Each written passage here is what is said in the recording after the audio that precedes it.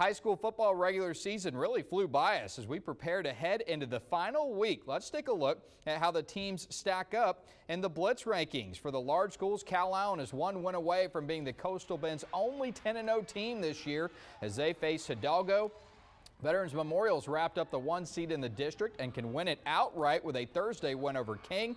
Ingleside hosting rivals Sinton with the outright district title on the line between those two rivals. GP also playing for the outright district title against Flower Bluff with the winner bringing that one home. Miller locked into the two seed as the Bucks face Carroll.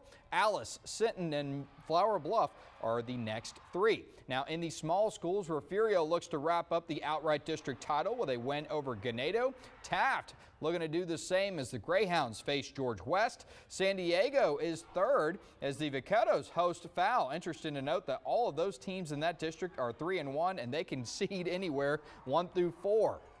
Three Rivers is in the four spot. The Bulldogs have a bye, and Freer has a chance at a district title when the Bucks welcome in La Villa. Falfurrias just outside the top five. So a big week 11 coming up this week on the Blitz.